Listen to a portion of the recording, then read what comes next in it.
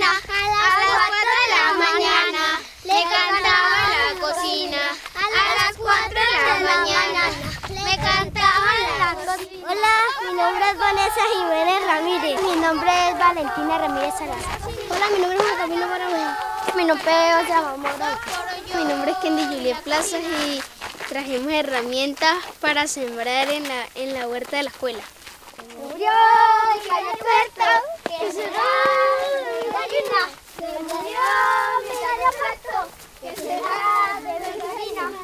A las cuatro de la mañana me cantaba en la cocina. A las cuatro de la mañana me cantaba en la cocina. ¿Qué semillas trajeron? Maíz, Maíz, ¿qué más? Yuca, dejen ver, a ver. Ah, este es yuca, bien. Entonces tenemos la yuca, el maíz, muy bien. Tenemos la cebolla que está ya en la huerta. Muy bien. Entonces echemos acá y ahora vamos a hacer la actividad como hacemos cada ocho días de trabajo. Este proyecto es más que todo educativo. Hemos organizado en el proyecto de medio ambiente y huerta escolar. El fin que utilizamos para esta huerta es para tener algunos elementos que nos apoyen el restaurante escolar. Vengan todas, eso. Entonces el trabajo que vamos a hacer hoy es el siguiente. Vamos a arreglar la era que está allá con maleza y vamos a sembrar ahí la yuca. La semilla de maíz que trajeron la vamos, vamos a adaptar el bordo de la, de la huerta para sembrar el maíz. Generalmente iniciamos a comienzo de año cuando los padres de familia empiezan a limpiar la escuela, entonces pedimos que nos colaboren en la limpieza de la huerta escolar. Profe, aquí vamos a sembrar la yuca y allá el maíz y el ganado. Profe, acuérdese que la vez pasada se nos metió el ganado y dañó la, el maíz. Bueno, ahora por lo menos ya tenemos el encerramiento y no dejamos que, que vengan y nos dejen el portón abierto. Entonces, eh, eso nos sirve para que las vacas no, no se metan. Lo que pasa es que hay que tener cuidado con la gente que viene a jugar y deja el portón abierto porque eso fue lo que ocurrió la vez pasada.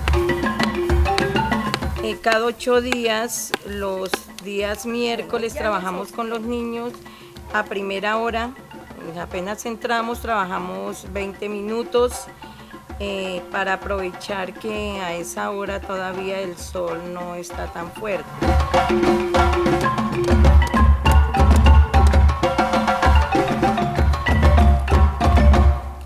Profe, ¿puedo tomar agua? Vaya, mamita. Tres pepitas acá, tres acá y tapa tantito. Sí, realmente es muy significativo porque cuando yo inicié con el proyecto de huerta escolar, eh, me daba cuenta que muchos niños ni siquiera, que son de aquí del campo, pero que nunca habían sembrado, nunca habían hecho una era, entonces no sabían la forma como se hacía. Entonces ahí entre todos aprendimos a, armar las eras y a, a trabajar realmente la tierra, cómo se hacen las eras. Realmente es grato ver que ellos se entusiasman mucho, que les gusta el proyecto de la huerta y también porque muchos de los productos que sacamos, eh, se puede decir que la mayor parte de los productos que sacamos son para beneficio de ellos.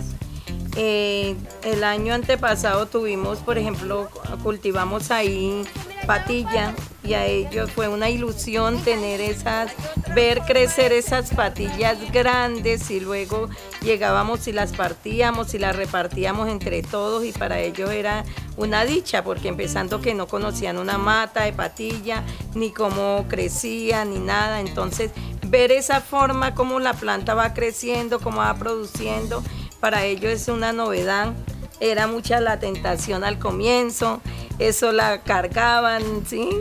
Eh, cuando la veían ya grande, decía profesora, ya está, ya la podemos comer, ya, si la alzaban, entonces todas esas cosas son gratificantes tanto para ellos como para uno. Y también porque pues las verduras generalmente por acá en el campo no la no utilizan y uno briega demasiado con los niños en el restaurante escolar para que se coman la ensalada, ¿sí? Entonces ya al verla acá, cultivarla y todo, y saber qué es lo que ellos realmente han trabajado, pues entonces ya como que se animan más y es una exigencia que se aproveche lo que les ha costado a ellos trabajo. Que aquí calienta mucho el sol y llueve poco, entonces hay que regar todos los días y se debe hacer en turno. Entonces, ¿quién quiere colaborar con los turnos de riego? Yo, yo, primero. yo primero.